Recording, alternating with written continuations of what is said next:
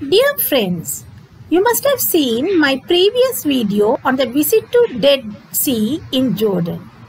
On our way to Dead Sea, we visited Madaba and Mount Nebo in western Jordan at 820 meters high.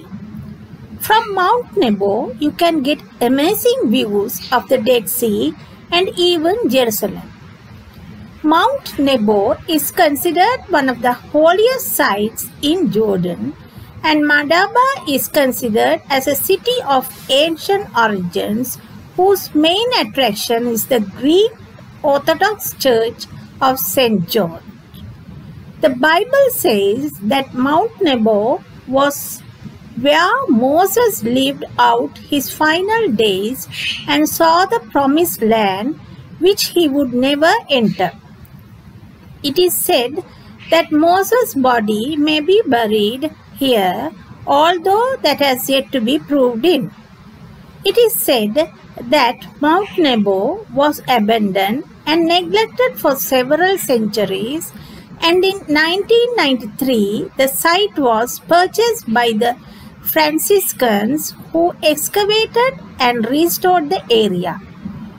Pope John Paul II visited the site during the pilgrimage to the Holy Land in 2000 and planted an olive tree next to the Byzantine Chapel for peace.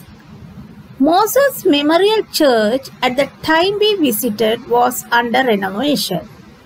We were absolutely taken away by the successful renovation on the floor and the walls you can see wonderful several centuries old mosaics, ancient columns.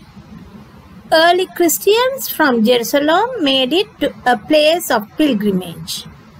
In addition to the centuries old mosaics, you can see a rolling stone used as a fortified door of a monastery and the sculpture at the entrance to the archaeological park which commemorates a visit by Pope John Paul II in 2000 and archaeological finds from various periods can also be seen which includes costume, jewelry, weapons. You all can enjoy the rest of the video. Thank you very much for watching my video. Put a like and subscribe my channel.